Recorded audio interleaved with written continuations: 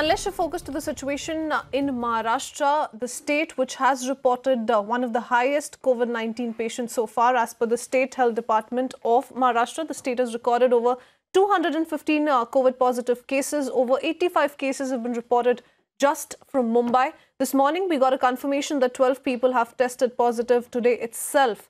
Maharashtra, in Maharashtra, and out of them, five people are from Pune, three from Mumbai two from Nagpur and one each from Kolhapur and Nasik. Meanwhile, my colleagues Niranjan and Sagarika, who've been driving through the streets of Mumbai and also trying to put out what exactly is happening, how is the lockdown being followed. Take a look.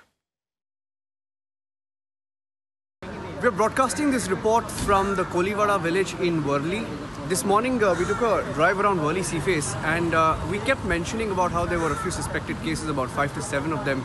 Uh, a video that emerged last evening of how five to seven from a family were taken in a vehicle, perhaps for testing. Uh, we're getting in reports now that two of them, two to three of them, may have tested positive.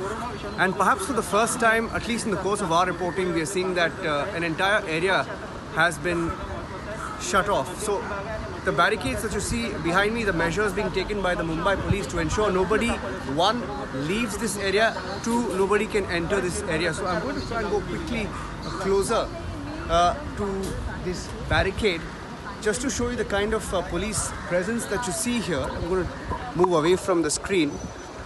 Uh, the police officials here interacting with uh, the locals, ensuring that uh, those who don't belong to the area are also out of out of here. And if you look further, there is another group of policemen, four to five of them in the distance, all of them seated there, keeping a watch to ensure that nobody really leaves the area.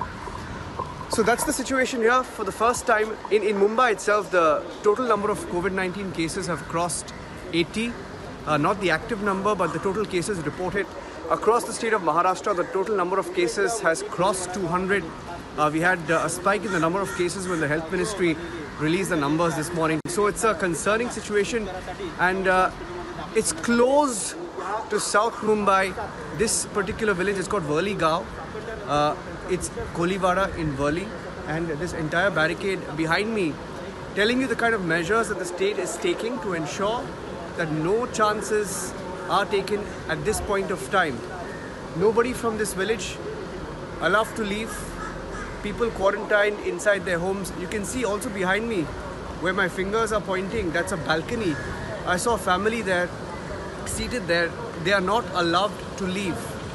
People of Worli Gaon in Koliwada Worli forced to stay indoors perhaps for the next two weeks. This is Niranjan reporting from Worli for Republic TV.